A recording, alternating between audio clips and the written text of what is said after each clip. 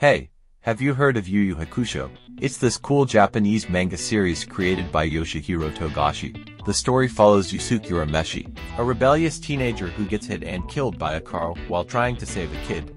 But get this, he's brought back to life by Koenma, the son of the ruler of the afterlife, and gets the title of underworld detective. His job is to solve cases involving demons and ghosts in the human world and as the series goes on, it gets more focused on martial arts battles and tournaments. Togashi started working on Yu Yu Hakusho in November 1990, drawing inspiration from the occult, horror films, and Buddhist mythology. The manga was originally published in Shueisha's Weekly Shonen Jump from December 1990 to July 1994. With 175 chapters collected in 19 tankobon volumes. In North America, Viz Media licensed the manga and serialized it in Shonen Jump from January 2003 to January 2010. There's also an anime adaptation with 112 episodes, directed by Noriyuki Abe and co-produced by Fuji Television, Yomiko Advertising, and Studio Pierrot. Yu Yu Hakusho has been a huge hit, with over 78 million copies of the manga in circulation worldwide. It even won the 39th Shogakukan Manga Award for the Shonen category in 1993, and the animated series scooped up the Animage Anime Grand Prix Prize for Best Anime in 1994 and 1995. It's been loved by fans in Japan and a wide range of age groups in the United States.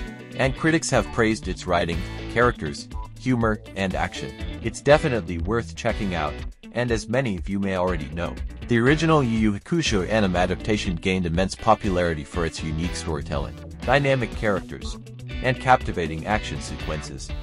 Now, to add to the excitement, Netflix has released a live-action adaptation of Yu Yu Hakusho, bringing together all the dynamic elements present in the original manga and anime.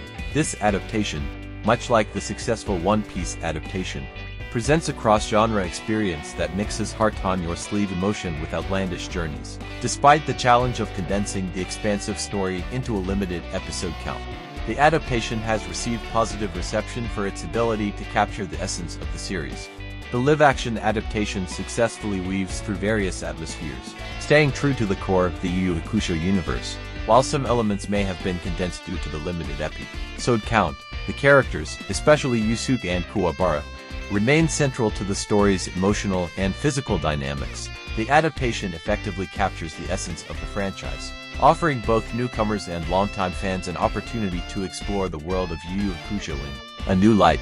We hope that this adaptation will serve as a gateway for newcomers to explore the intricacies of the original manga and anime, and as an invitation for longtime fans to revisit the series with a fresh perspective. Thank you for your continued support and enthusiasm for Yu Yu Hakusho. Let's embrace this new chapter in the series with open hearts and open minds. And if you enjoyed the video don't forget to hit the like button and subscribe.